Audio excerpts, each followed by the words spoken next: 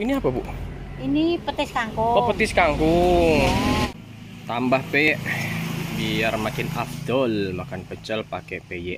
Di depan ada Fakultas Ekonomika dan Bisnis Universitas Diponegoro. Nih bu, ya bu. Jual apa nih bu? Jual apa toh? Nasi pecel Loh, pecel. Masya Allah. Ya udahlah, aku pesen deh bu. Oh, pesen.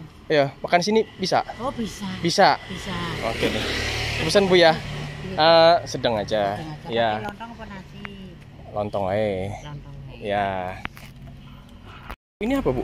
Ini petis kangkung. Oh petis kangkung. Ya. Ya.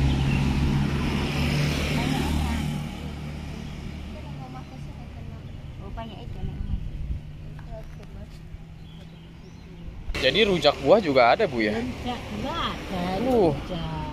Masya Allah, rujak, lengkapnya. Jadi ibunya tadi jual peye juga 5000 Kalau air mineral tadi udah dibawa ya Dari hotel. Kita duduk di sini aja nih. Ah. Oke, oke. Kasih ya bu. Udah jadi. Nah, bumbunya sih banyak nih kalau dari tampilannya nih.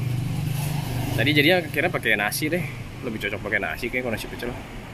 Sama bakwan satu Sudah disobek-sobek. Ini yang sedang Jadi nggak terlalu pedas Porsinya banyak loh ini. Tuh, Banyak ini porsinya. Tambah P Biar makin afdol. Makan pecel pakai PY Jadi sayuran yang dominan di sini Toge sama bayamnya. Bayamnya banyak ini. Dan apa bumbu pecelnya kental dia. Kental terus Nasinya banyak. Enak nih.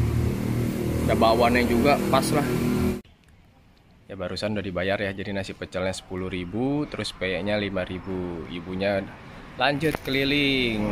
Mudah-mudahan cepet habis ya bu. Pecelnya enak